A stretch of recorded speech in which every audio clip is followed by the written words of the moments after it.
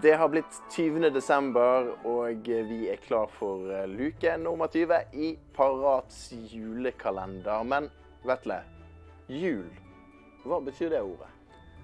Ja, skal vi kanskje si Parats julekalender?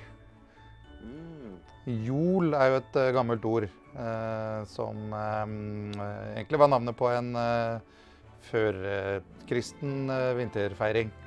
OK, så det har faktisk vært feiret uh, her oppe i uh, de nordlige himmelstrøk uh, lenge før vår gode venn Jesus ble født.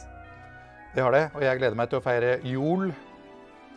Det gjør jeg også. Men når var egentlig denne jul ifølge primstaven? Ja, var det A 15. november, B 21. desember eller C 12. januar?